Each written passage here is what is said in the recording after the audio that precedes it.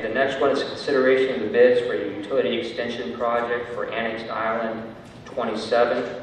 This um, Island 27 includes the streets of Bemis Road, Thompson Road, Air Street, Ham Street, Highland Heights Drive, First, Second, and Third Streets, Guard Street, and Highland Heights Lane.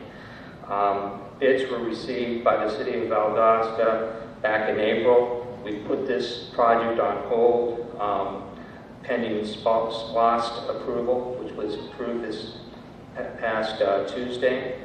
So consequently, we are recommending that um, you approve the low bid, which went to standard contractors in the million in the amount of $1,098,843.20 plus a 10% contingency for a total of a million two hundred eight thousand seven hundred twenty-seven fifty-two.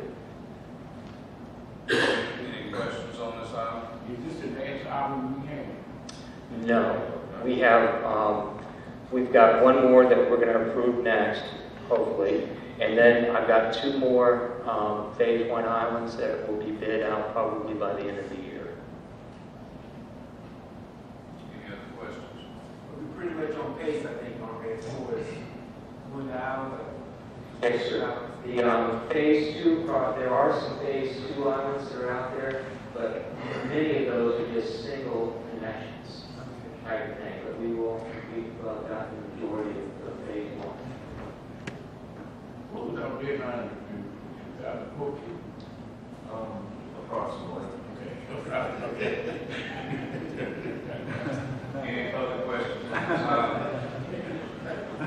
Could I have a motion, please? Mr. Zhang, Yes. uh, make a motion to the bids as. Second. Motion and second, any discussion?